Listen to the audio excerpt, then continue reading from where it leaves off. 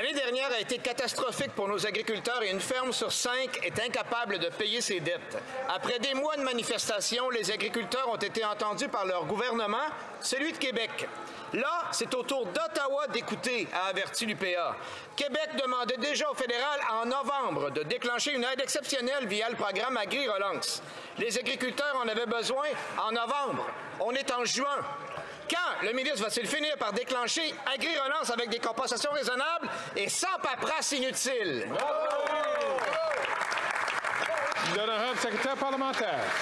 Merci, merci beaucoup, euh, monsieur, euh, monsieur, le Président. Bien sûr, on est avec tout cœur avec les agriculteurs qui ont passé l'année dernière à, à, travers des moments difficiles. Comme mon honorable collègue le célébrait, c'est très bien. Agri-Relance, c'est un partenariat entre la province et le fédéral et on travaille à savoir si le, le programme sera déclenché et on aura une réponse très rapidement. Merci beaucoup. L'honorable député de Berthier, Masquinongé.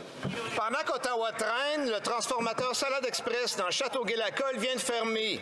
Les portes étaient barrées ce matin pour les travailleurs. Un grand nombre de nos producteurs apprennent donc ce matin, après les semences, qu'ils ont perdu leur unique acheteur. Ça s'ajoute à la saison désastreuse de 2023 et aux catastrophes naturelles à répétition. Si Ottawa ne se réveille pas et ne s'adapte pas au changement climatique, une entreprise sur dix va fermer d'ici un an. Le ministre va-t-il enfin déclencher Agri-Relance? Ça prend une date.